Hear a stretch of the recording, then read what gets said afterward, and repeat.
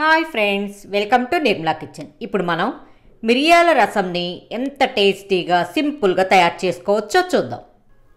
ముందుగా ఒక మిక్సీ జార్ని తీసుకొని కందిపప్పు వన్ టేబుల్ స్పూన్ ధనియాలు టూ టేబుల్ స్పూన్స్ మిరియాలు వన్ స్పూన్ ఫుల్ వేసుకోండి. వెల్లుల్లిపాయ ఒకటి రెమ్మలు తీసి వేసుకోండి.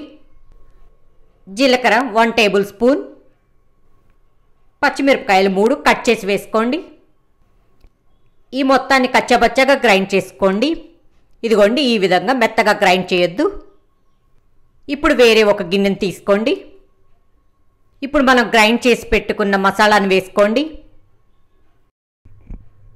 టేస్ట్కి సరిపడ సాల్ట్ పసుపు కొంచెం లెమన్ సైజు చింతపండుని అరగంట పాటు నానబెట్టుకున్న చింతపండు పులుసును వేసుకోండి. ఆ పిప్పుని పడేసేయండి. వన్ లీటర్ వాటర్ పోసుకోండి. కరేపాకు రెండు రెమ్మలు. ఏ రసానికైనా కరేపాకు కొత్తిమీరేనండి ఇంపార్టెంట్. ఇవి వేయటం వల్ల ఫ్లేవర్ చాలా బాగుంటుంది. ఒకసారి మిక్స్ చేసుకోండి. ఇప్పుడు స్టవ్ వెలిగించి ఈ గిన్నెని పెట్టుకోండి. ఒక పొంగు వచ్చే వరకు హై ఫ్లేమ్లో పెట్టుకోండి. ఇదిగోండి ఒక పొంగు వచ్చింది కదా. ఇప్పుడు మీడియం ఫ్లేమ్లో పెట్టుకొని ఒక ఫైవ్ మినిట్స్ మరగాలి. ఇప్పుడు ఉప్పు సరిపోయిందో లేదో ఒకసారి టేస్ట్ చూడండి. కొత్తిమీర సన్నగా కట్ చేసి వేసుకోండి. కొంచెం ఎక్కువే వేసుకోండి కొత్తిమీర.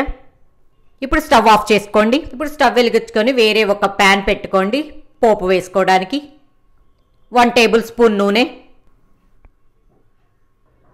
నూనె వేడైంది కదా.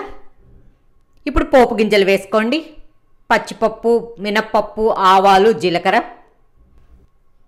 ఇవి కొంచెం వేగిన తర్వాత వెల్లుల్లి రెమ్మలు కొంచెం నలగొట్టి వేసుకోండి.